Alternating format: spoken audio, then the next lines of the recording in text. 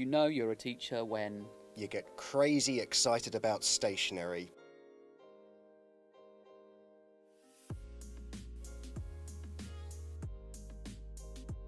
More than 10. really. Both, mum and dad. Obviously, much prefer your subject than mine. A lot of it is baffling to me. Uh, I've, I've learnt a lot of new words. One that's confused me is um, sick to mean good. That's not new. That's not, and it's not new either. History teacher. So words. Words. Words in general. Yeah.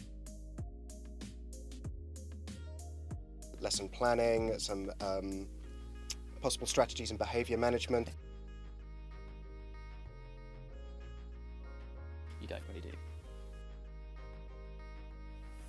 But I, I find it a bit awkward if I like lose my train of thought in the middle of explaining a task. And what I want you to do is It's so different. Mm. Every day Yeah, is completely different. you are never bored. No. No. I feel more of a community than I thought. It's really, I feel like I'm part of a really good community. We had five glue sticks at the start of the lesson.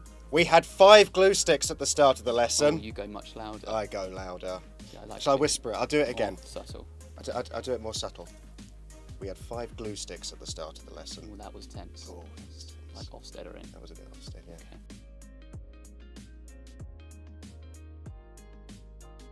I had a sheet and it was a drawing activity, shapes, Hmm. and in the middle of it was like an explosion of ink, and he was like, "My ink, my pen exploded." But you could see underneath that explosion that zero things had been completed.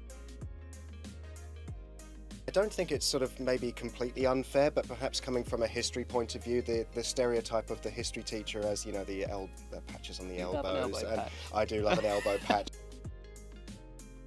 You get crazy excited about stationery.